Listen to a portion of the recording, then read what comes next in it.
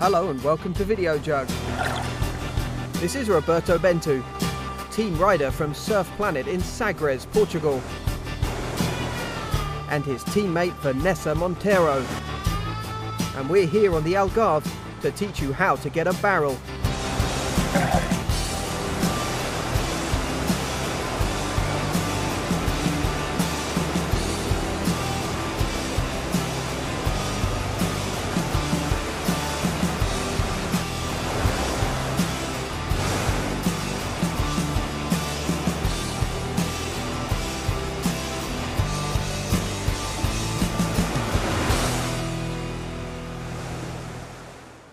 To get barreled or to get a tube.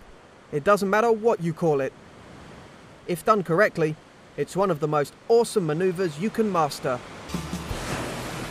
Step 1. So what exactly is a barrel? It's the part of the wave that has not yet broken or is about to break.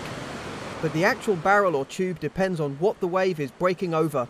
It needs to be in fairly shallow water as the tube will form where the sea bottom topography changes from deep to shallow very suddenly. Step 2.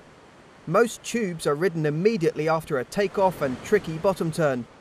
Just as with those moves, good body positioning is essential. This is with your weight slightly on your back foot and your knees slightly bent. Step 3. Try to stick to the wall of the wave or get as close to it as possible. If you ride out too far away from it, the lip could hit you on the head and that will be a sorry end to your ride.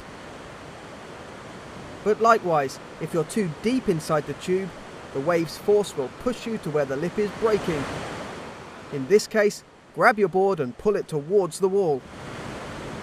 Finally, as always, look in the direction you are going. And there you have it. Now go get barreled.